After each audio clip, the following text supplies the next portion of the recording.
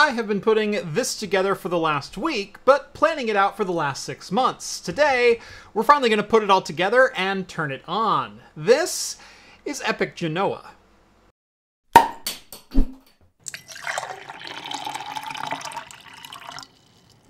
Today's video is brought to you by me.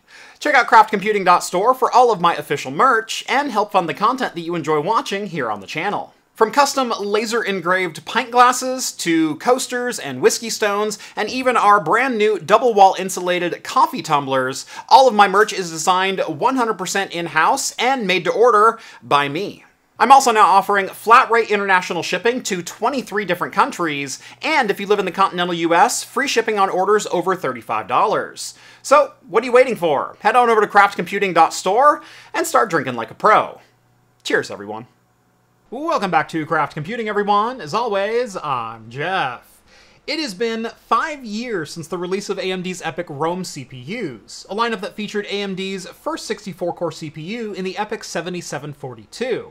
It's a CPU that I've covered many times here on the channel, and for good reason. It's basically been the gold standard for highly dense virtualization servers, even this many years later.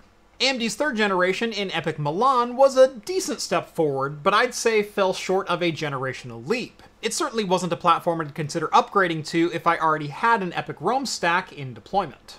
Now I know I'm a bit late to the party on this, but in November of 2022, AMD announced their fourth generation EPYC CPUs known as Genoa.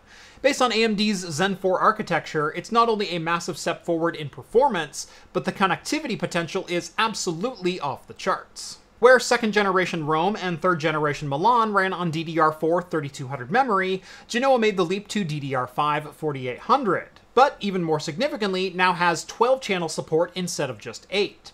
For memory reliant applications, that means per CPU socket, there's up to 225% more memory bandwidth available on Genoa. But where things get really interesting is in storage and networking expansion, thanks to the jump to PCI Express 5.0. Genoa CPUs have a full 128 lanes of PCIe 5.0 at their disposal, which again more than doubles the potential bandwidth for storage and networking over previous generation platforms. But, like I said, I am a little bit late to this party, so I don't want to repeat too much information that you might have already heard. If you are interested in the platform differences between Rome, Milan, and now Genoa, I will link Level1Techs, Patrick at ServeTheHome, as well as George over at Chips and Cheese down in the video description. Go give all of them a look. Now, a large chunk of my server use revolves around general virtualization with a specialty in VDI, and that's where I'll be focusing most of my attention. But today, this video is all about putting this box together. Now this is by far one of the largest and most expensive builds I have done on this channel to date, and there are quite a few companies to thank for bringing this project together. And it starts with AMD for providing the EPYC 9554 CPU. This is their top tier 64 core SKU, rocking 128 threads, 256 megs of L3 cache, and a relatively insane 3.75 GHz max boost frequency, all in a 360 watt TDP package. I requested this CPU specifically from them all the way back in December for VDI testing. But I really didn't think that they'd actually send one over, so huge shout out to AMD for the opportunity to check this out.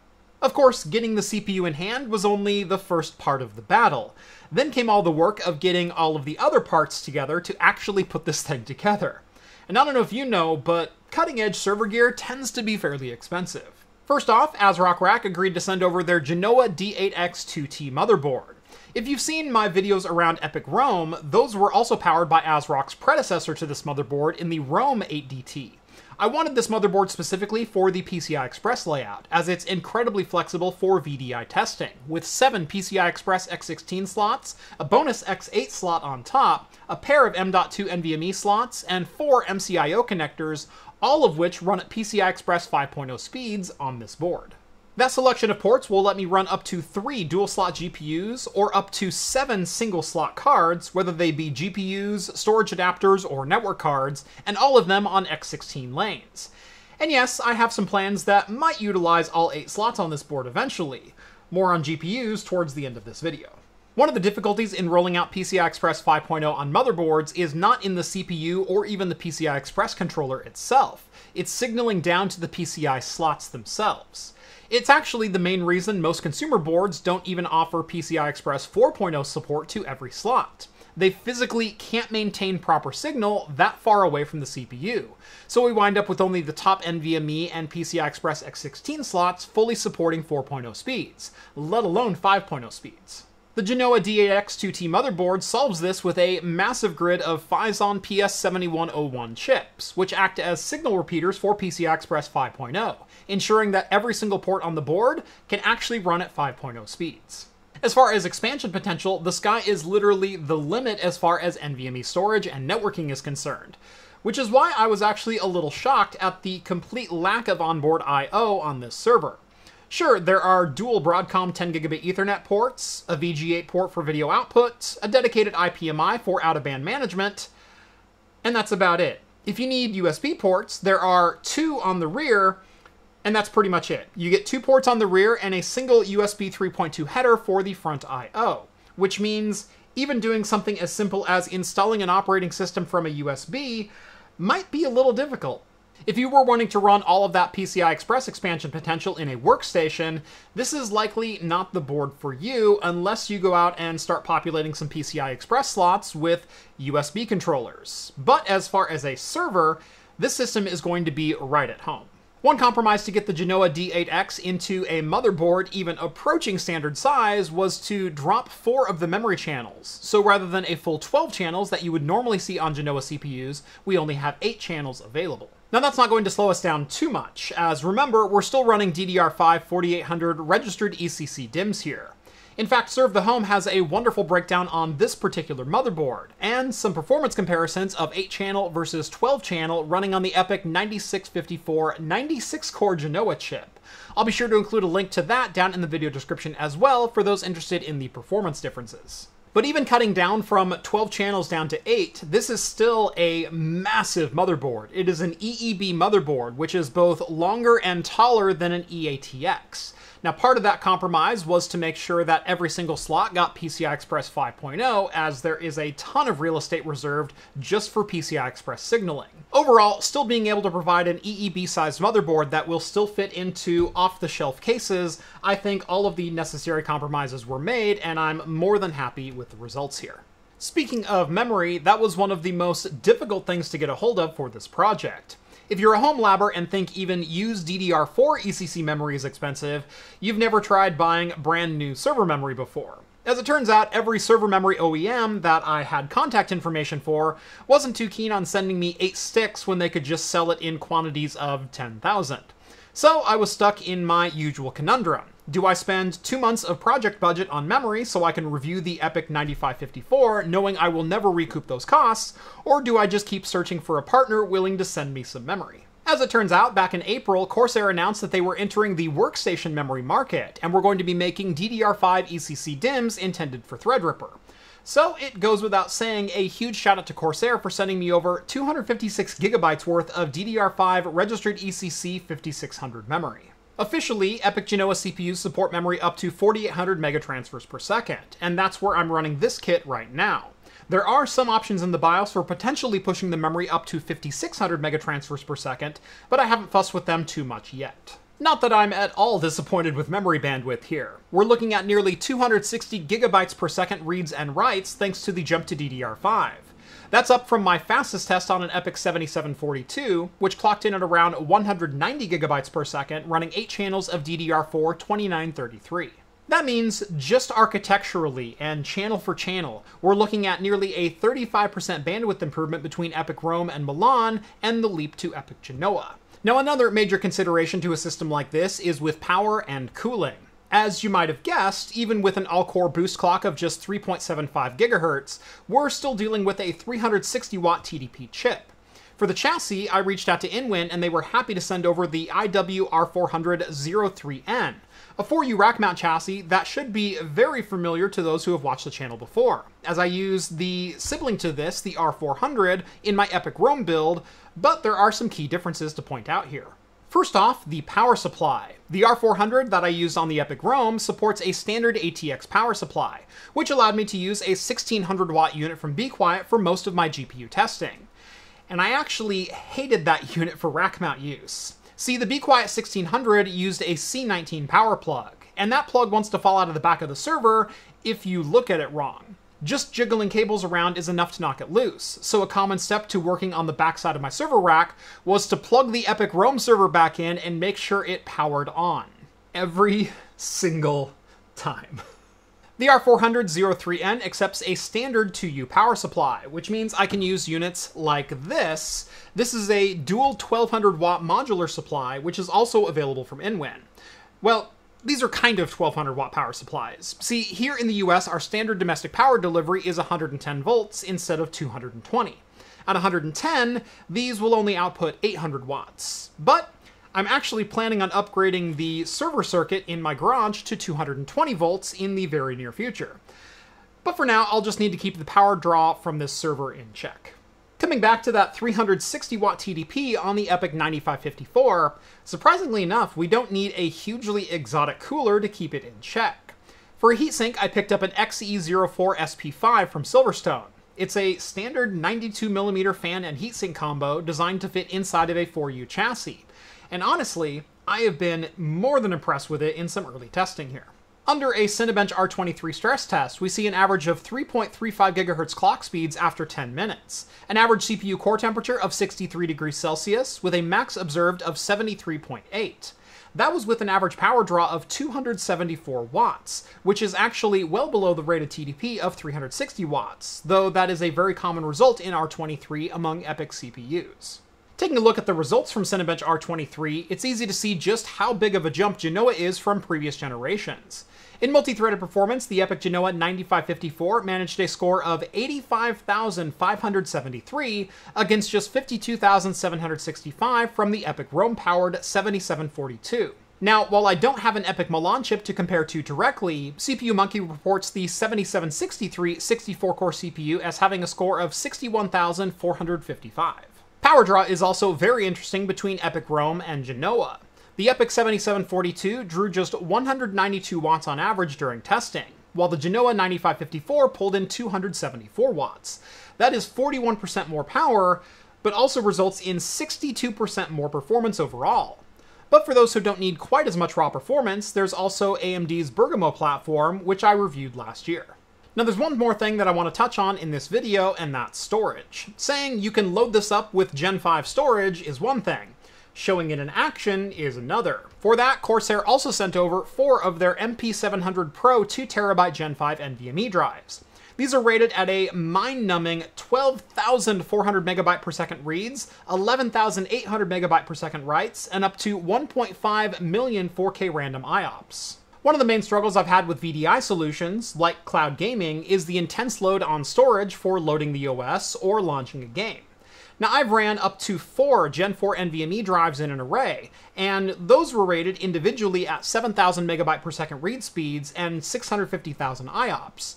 But after launching more than five or six simultaneous VMs, which really stressed the read speeds on the server, things didn't work out so well. Load times in games would vary wildly from 15 seconds to upwards of 2 minutes in some circumstances.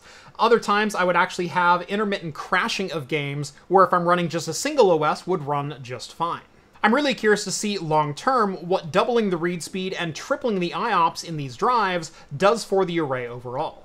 For testing today, I've got a single 240GB Gen 3 drive running the OS, and four of the MP700 Pros installed into an Aorus 4-way NVMe carrier. I've used their Gen 4 carrier in previous projects and have been a big fan of the design. Now again, remember, this is all a very quick setup and testing just inside of Windows. I'll be doing more in-depth testing once I start configuring the server for deployment. For single disk speeds, the results are impressive to say the least, and basically bang on with what was advertised from Corsair. In CrystalDiskMark, we're getting sequential reads of 12.1 gigabytes per second, sequential writes of 10.9 gigabytes per second, with 32Q 4K random speeds of 510 megabytes per second.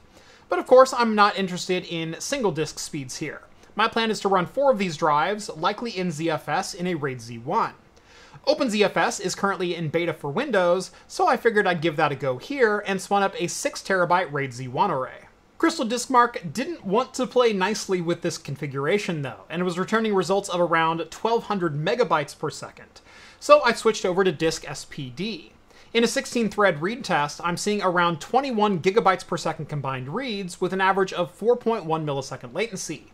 Now that might not sound too impressive considering we're moving from a single disk at 12 gigabytes a second to four disks and only 21, not even doubling the performance. I thought the same thing, so I retested a single MP700 Pro in DiskSpd with the same settings and saw roughly 7.2 gigabytes per second, or around one third the speed we see when matched in an array.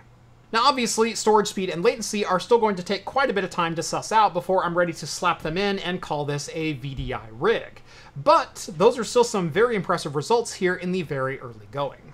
So that's the base hardware that I'm going to be playing with for the next couple of months as I continue diving into cloud gaming and VDI solutions. In my last couple videos on the subject, even when running NVIDIA Pascal series GPUs, we're starting to see Broadwell CPUs becoming a CPU bottleneck. Obviously, we're going to see some much improved results on EPYC Genoa, but Pascal is a bit out of date at this point, if I'm being honest. While I am planning on retesting those Pascal GPUs in the P40 and P100 just to see what improvements can be made with a CPU upgrade, it's not really realistic that anyone out there is going to be running a Pascal GPU in a Genoa server. So I think it's time we brought out some bigger guns and went a little bit more modern. For that, I have a pair of RTX A5000 ampere power GPUs, and I've been testing them with VDI Solutions for almost the last six months now, and I can't wait to see what a modern GPU can do inside of a modern system. Make sure you're subscribed so you don't miss that one, because uh, that's going to be fun. Now, besides VDI, what else do you guys want to see with this system? Uh, it's going to take a while for me to figure out how to properly stress all 64 cores in this rig and make it relevant to both small, medium business and home labbers. So let me know down in the comments below what you want to see me run on here. On your way down there, make sure to drop this video a like and subscribe to Craft Computing if you haven't done so already. And if you like the content you see on this channel and want to help support me in what I do, consider joining the Patreon. Link is also down in the video description, and as a bonus you'll get exclusive access to my Discord server, where you can chat with myself and the other hosts from Talking Heads.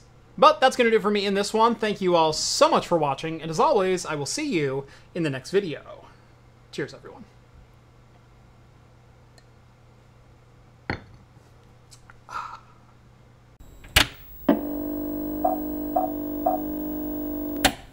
For today was sent over by long-term supporter of the channel, Malbeth. Uh, and when I say long-term, I mean one of my first 10 or 15 patrons and has been supporting me since 2018. So, uh, thank you, Malbeth. Uh, this is from Pit Caribou Brewery up in Quebec, Canada.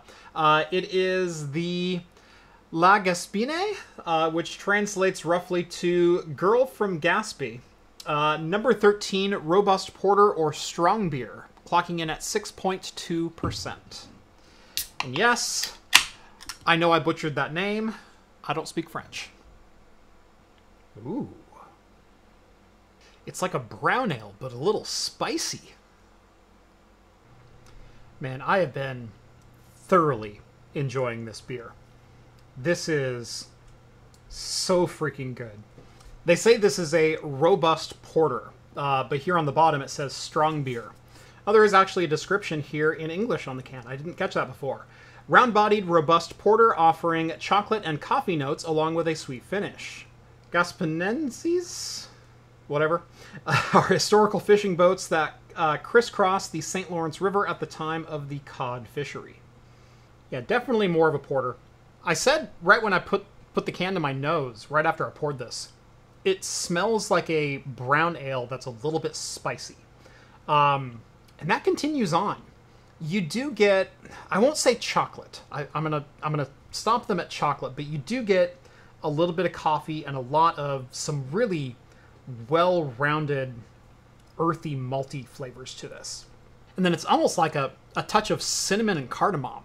Like it's it's a little bit like aromatic bitters kind of style. This is just super good. Very, very rich coffee, very, very black coffee flavor. Maybe not the best introduction to dark beers, as this one, this one hits pretty hard, uh, even at only 6.5%. But man, this is delicious.